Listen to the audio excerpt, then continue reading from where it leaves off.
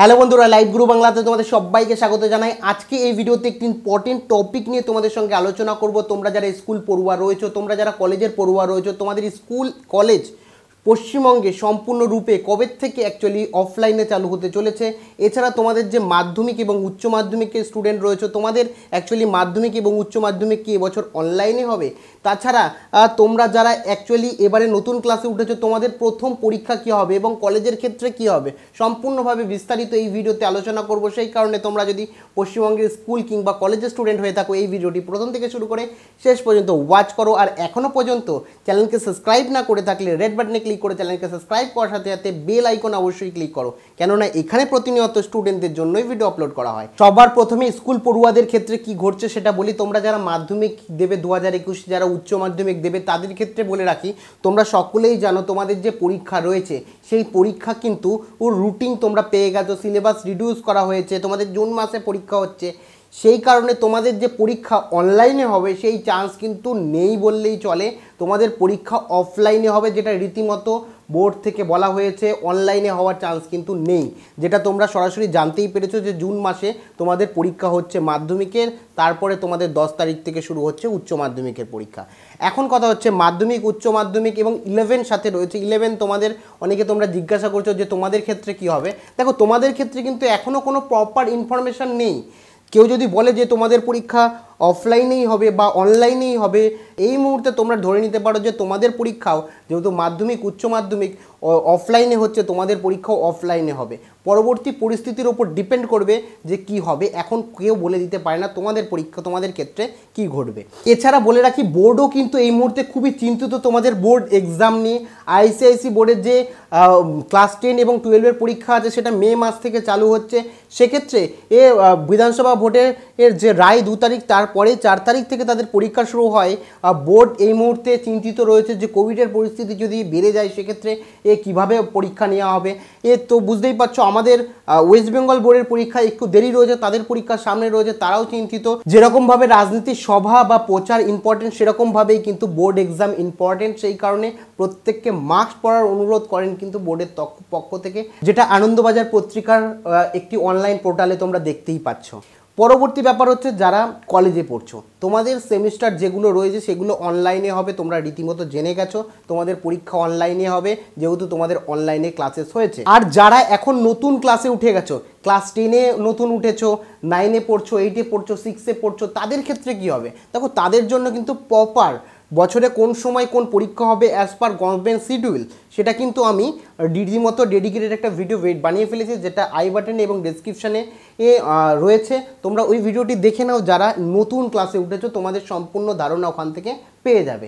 যদি প্রথম পরীক্ষার কথা বলি, তোমাদের যারা ফাইভ থেকে শুরু করে টেন পর্যন্ত পড়ছো নতুন তাদের কথা বলি যে তোমাদের যে প্রথম পরীক্ষা রয়েছে, সেই পরীক্ষা দায়িত্ব কিন্তু পুরোপুরি স্কুলের ওপর পড়ে। কিন্তু যে শিডিউল করা হয়েছে, সেই শিডিউল অনুযায়ী তোমাদের পরীক্ষা এপ্রিল মাসের, এর ফার্স্টে কোনো স্কুল কোনো স্কুল লাস্টে কিংবা মে মাসে নেওয়ার কথা। দেখবে প্রত্যেকের ডায়েরিতে কিন্তু সমান না এবং তোমরা যখন স্কুলের পরীক্ষা তোমাদের ফার্স্ট প্রথম পরীক্ষা হয় দেখবে প্রত্যেকটা স্কুল সমান সময়ে পরীক্ষা নেয় না। স্কুলের ওপর নির্ধারণ করে এ যে কোন সময় সে পরীক্ষা নেবে। তো এখন যে বিষয়টা, কোনো কোনো স্কুল কিন্তু রীতিমতো জানিয়ে দিচ্ছে যে আমরা পরীক্ষা নেব না। কোনো স্কুল রীতিমতো বলেছে যে এপ্রিল মাসের থার্ড উইকে বিধানসভা ভোটের সময়ে কিন্তু অনলাইনে নেওয়া হবে। এই যেটা ডায়েরিতে লেখা আছে এবং কোনো কোনো স্কুল বলছে যে এপ্রিল মাসের ফার্স্ট উইকে পরীক্ষা নেবে। তার মানে বুঝতেই পারছ বিভিন্ন স্কুলের মতামত, বিভিন্ন এবং সেটা পরবর্তীকালে পরিবর্তন হতেও পারে।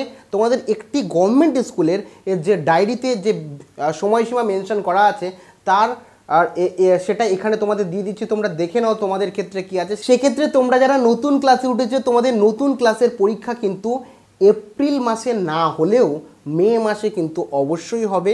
এটা যদিও বা কোনো স্কুলের ক্ষেত্রে ব্যতিক্রম হতেই পারে, যেহেতু বললাম, এই পরীক্ষা স্কুলের ওপর দায়িত্ব দেওয়া থাকে। এর পরবর্তী বিষয় হচ্ছে, তোমরা যারা স্কুলে পড়ছো, তোমরা যারা কলেজে পড়ছো, তোমাদের স্কুল, কলেজ সম্পূর্ণভাবে পশ্চিমবঙ্গে কবে থেকে চালু হতে চলেছে? তো এখানে আমি বলে রাখি, তোমরা যারা এই মুহূর্তে এ স্কুলে পড়ছো, ধরো ফাইভ সিক্স সেভেনে তোমাদের তো অ্যাকচুয়ালি এখনও পর্যন্ত স্কুল খোলেনি। নবম থেকে দ্বাদশ শ্রেণির জন্য স্কুল খুলেছিল, আবার পুনরায় অনেক স্কুল বন্ধও হয়ে গেছে বিধানসভা ভোটের কারণে বা বিভিন্ন কারণে। তো এখন কথা হচ্ছে পুনরায় আবার ভালো মতন করে আগের মতন যেভাবে অফলাইনে ক্লাস হতো, সেরকমভাবে কবে থেকে অ্যাকচুয়ালি স্কুল খুলবে? দেখো, বিভিন্ন ওয়েবসাইটে কিন্তু বিভিন্ন রকম বক্তব্য পেশ করছে, কোনোটাই অফিসিয়াল নোটিফিকেশান কিন্তু নয়। সেই কারণে আমরা এখন কেউ বলতে পারি না। যে সমস্ত ইউটিউবার বলছে মে মাসে খুলবে, এপ্রিল মাসে খুলবে, এই সমস্ত ব্যাপার বিশ্বাস তোমরা করো না। কারণ তোমরা অনেকেই দেখেছ যে এই মুহূর্তে যে ইনফরমেশান রয়েছে সেটা পরবর্তীকালে চেঞ্জ আসছে। আর এই মুহূর্তে কোন ইনফরমেশনের ভিত্তিতে আমরা বলব যে পরবর্তী সময় তোমাদের স্কুল খুলতে চলেছে?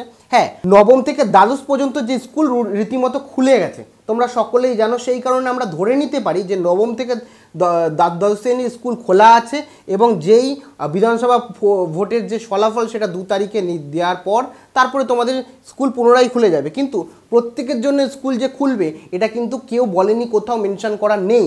সেই কারণে তোমাদের কিন্তু মে মাসে এই স্কুল খুলতে পারে অথবা নাও খুলতে পারে, এখন কেউ বলতে পারে না। আর তোমাদের যারা কলেজের স্টুডেন্ট রয়েছে, তোমরা অনেকেই ভেবেছিলে যে আমাদের প্রথম যে অর্থ সেমিস্টার রয়েছে, এই অর্থ সেমিস্টার হয়ে যাওয়ার পরে আমাদের স্কুল খুলবে। অর্থাৎ মে মাসে আমাদের তোমাদের আর যারা কলেজের স্টুডেন্ট রয়েছে, তোমরাও অনেক জায়গার থেকে ইনফরমেশান পেয়েছিলে যে অড সেমিস্টার যেটা আছে, সেটা হয়ে যাওয়ার পরে এ তোমাদের যে কলেজ খুলবে। কিন্তু এই মুহূর্তে এ যে ইনফরমেশান আছে, সেই ইনফরমেশান অনুযায়ী বিভিন্ন জায়গার থেকে যে ইনফরমেশান পাওয়া যায় সেই অনুযায়ী বা বিভিন্ন কলেজের নোটিফিকেশান অনুযায়ী কিন্তু যেটা বলা হচ্ছে, পরবর্তী সময়ে তোমাদের অনলাইনেই ক্লাস হবে ইভেন্ট সেমিস্টারও অনলাইনে হবে। তো যেটা আমি বিভিএস বিভিন্ন ভিডিওতে তোমাদের পূর্ব দিয়েছিলাম, সেই কারণে তোমাদের কলেজও যে মে মাসেই খোলা হবে, এরকম কোনো ইনফরমেশন কিন্তু নেই। বিভিন্ন ওয়েবসাইট থেকে আমরা বিভিন্ন রকম ইনফরমেশন পাচ্ছি এবং তোমরা অনেকেই বিকৃত ইনফরমেশন পেয়ে বিভিন্ন রকম ভাবনায় মগ্ন হচ্ছে যে আমাদের হয়তো পরবর্তী সময় থেকে স্কুল বা কলেজ খুলতে চলেছে। খুলতে পারে, কিন্তু সমস্ত কিছুই পরিস্থিতির ওপর ডিপেন্ড করছে। তো আমি বলব, তোমরা পড়াশোনাকে অব্যাহত রাখো। স্কুল খোলার চান্স থাকলেও কলেজ খোলার চান্স কিন্তু অনেকটাই কম, কারণ স্কুল খুললেও কলেজের স্টুডেন্টরা যেহেতু এক রাজ্য থেকে অনেক রাজ্যে এসে পড়াশোনা করে, সেক্ষেত্রে কলেজ খোলার সম্ভাবনা কিন্তু খুবই কম। তার মানে সমস্ত দিক যদি আমরা বিবেচনা করি, সেক্ষেত্রে আমরা বলতেই পারি যে এই মুহূর্তে কবে কলেজ খুলছে বা কবে স্কুল খুলছে, সেটা শুধুমাত্র আমাদের পরিকল্পনা মাত্র ও বিভিন্ন ওয়েবসাইটে বিভিন্ন রকম ইনফরমেশান পাওয়া যাচ্ছে। অফিসিয়ালভাবে এখনও পর্যন্ত কিন্তু কিছুই অ্যানাউন্সমেন্ট হয়নি। সেক্ষেত্রে আমাদের শুধুমাত্র এটা পরিকল্পনা পরিস্থিতির ওপর সমস্ত কিছু ডিপেন্ড করছে। এ পরিস্থিতির ওপর সমস্ত কিছু নির্ভর করছে। তারপরেই আমরা বলতে পারি যে অ্যাকচুয়ালি স্কুল কলেজ কবে খুলছে? আমি এইটুকু বলব, যা তোমাদের পড়াশোনা সেটা তোমরা অনলাইনে হোক কিংবা অফলাইনে হোক, তোমাদের পড়াশোনা তোমরা অব্যাহত রাখো। যখন অফিসিয়ালভাবে কোনো ইনফরমেশান আসবে, তখন তোমাদের সেই ইনফরমেশান আমি দিয়ে দেবো। আর তোমাদের বন্ধুরাও যাতে এই বিষয়ে সম্পূর্ণ বিস্তারিত জানতে পারে, সেই কারণে এই ভিডিওটি কিন্তু অবশ্যই বন্ধু বান্ধবের সঙ্গে তোমাদের সোশ্যাল মিডিয়ায় তোমরা শেয়ার করো ফেসবুক হোয়াটসঅ্যাপ এ। আর আজকের মতো এইটুকুই। দেখা হচ্ছে অন্য কোনো ভিডিওতে। Take care bye